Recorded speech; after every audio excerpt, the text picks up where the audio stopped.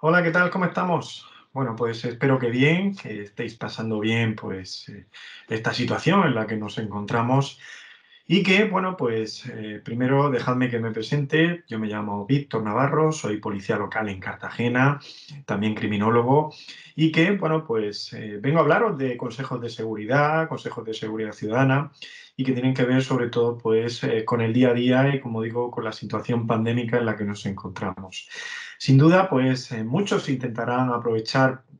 esta situación de descontrol, de desinformación en algunas ocasiones y piensan que esa población diana son las personas mayores. Tenéis que estar muy atentos, tenéis que estar muy alerta ante pues, los posibles fraudes, las posibles estafas y las posibles pues, eh, tomaduras de pelo que pasan pues eh, con algo que ahora mismo pues eh, está a la orden del día como puede ser el tema de las vacunas. Las vacunas contra el COVID y que pues recientemente se desmanteló por parte de Fuerza de Cuerpo de Seguridad del Estado pues una banda que pretendía pues hacer el agosto como digo con personas mayores pues asegurando y que pues le llevaría la vacuna a casa y aprovechando también pues esa, ese,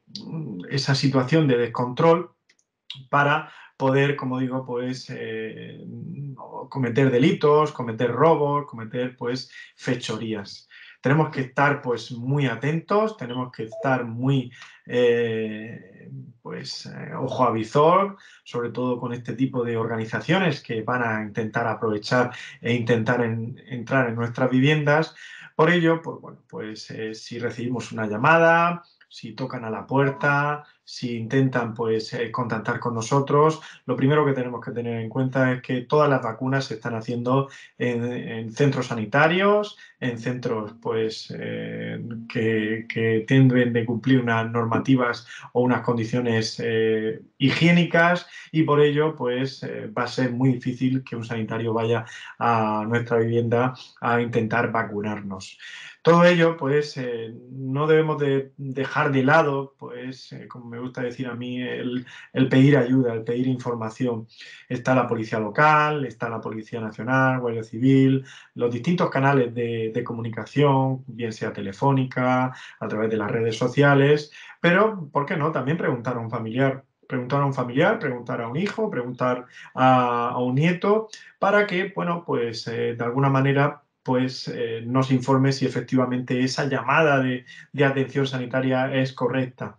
Todo ello va un poco ligado en lo que, bueno, pues eh, muchas ocasiones instaladores de servicios, bien sea de gas, eh, de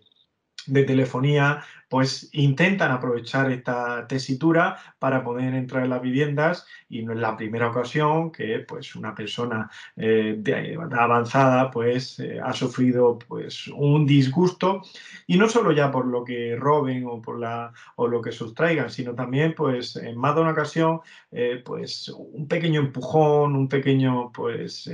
mal gesto pueden ocasionar que se sufran lesiones, se sufran caídas y bueno, pues eh, con, la, con las consiguientes pues, lesiones que pueden llegar a, pues, a llevar a cabo y ser perjudiciales sobre todo a, a una edad avanzada.